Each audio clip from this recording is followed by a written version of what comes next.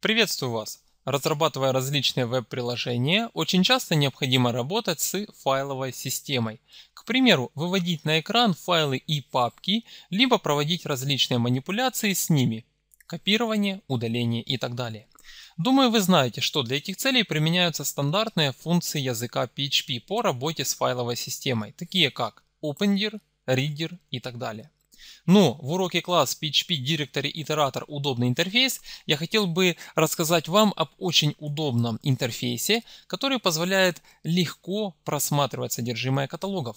Название данного интерфейса Directory Iterator. Изучив урок класс PHP Directory Iterator удобный интерфейс, вы научитесь работать с одним из встроенных итераторов языка PHP – Directory итератор. Вы увидите, как с его помощью легко читать содержимое каталогов и при этом получать любую информацию по их элементам. А также в данном уроке мы с вами создадим вот такой вот несложный файловый менеджер, при помощи которого можно просматривать содержимое каталогов на сервере. На этом у меня все. Увидимся непосредственно в уроке.